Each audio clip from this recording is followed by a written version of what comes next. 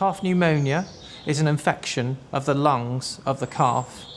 This can occur any time from a week to months of birth.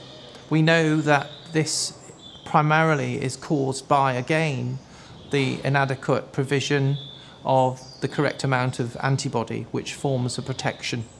We also know that a calf that has had scour is three times more likely to develop pneumonia going forward.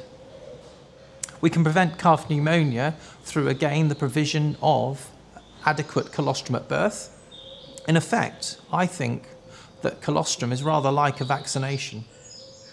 So the better the vaccination, the better the protection, the less likely that any bugs, bacteria, viruses that cause pneumonia uh, are then stamped out and overcome by the immunity of the calf.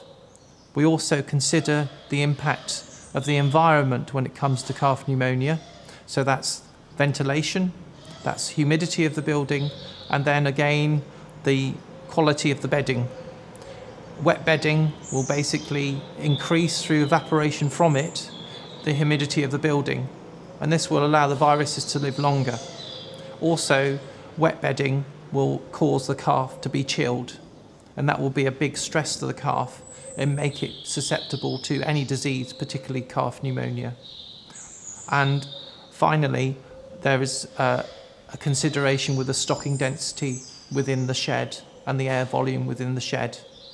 So the lower the stocking density, the greater the air volume for the calves, the less likely the viruses are able to survive within the calves' housing.